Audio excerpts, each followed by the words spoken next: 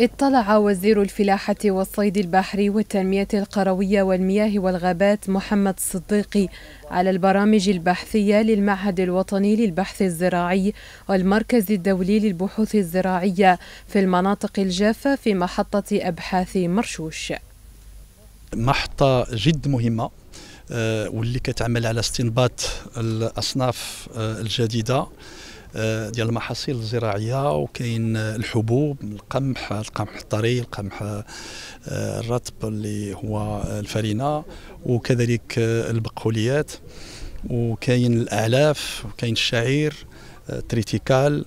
فعدة أنواع. برامج المعهد الوطني للبحث الزراعي والمركز الدولي للبحوث الزراعية في المناطق الجافة تتعلق بمجالات التحسين الوراثي للحبوب والبقوليات والأعلاف والهندسة الزراعية خاصة البذر المباشر. وشكلت هذه الزيارة فرصة أيضا للتعرف على الأصناف المطورة مؤخرا والتي تتحمل الجفاف وكذا برنامج إكثار البذور.